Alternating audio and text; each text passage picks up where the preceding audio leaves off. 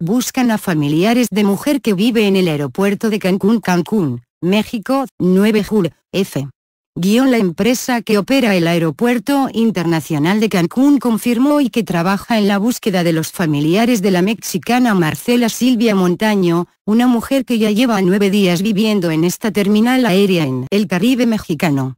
Carlos Trueba, director del aeropuerto de Cancún, que es operado por el Grupo Aeroportuario del Sureste, informó que se busca a la familia de esta mujer, quien ya fue examinada por un médico que determinó que ella sufre un padecimiento mental.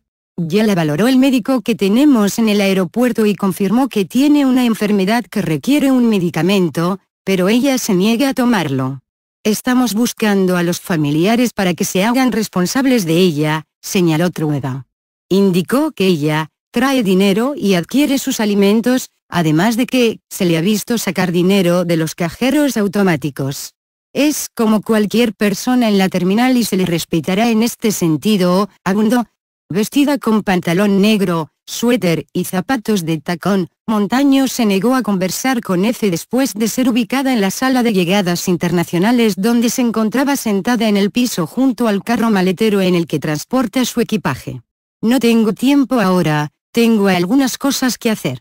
Regresa en unos tres días porque es seguro que seguiré por acá, respondió en inglés al tiempo que se levantaba y salía deprisa hacia una zona verde, donde se acostó sobre el césped a la sombra de unas palmeras. Trabajadores del aeropuerto comentan que la han visto hablar con turistas en por lo menos cuatro idiomas, y que ya empieza a tener periodos breves de agresividad, aunque no ha lastimado a nadie ni ha causado daños, motivo por el que no puede ser detenida. Es una mujer inteligente a pesar de todo.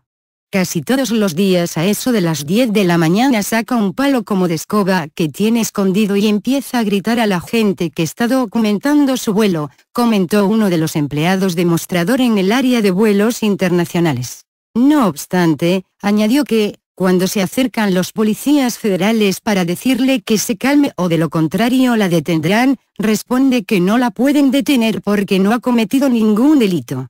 La mujer de 45 años y con pasaporte mexicano permanece en el aeropuerto desde el pasado 30 de junio, cuando llegó en un vuelo procedente de Estados Unidos.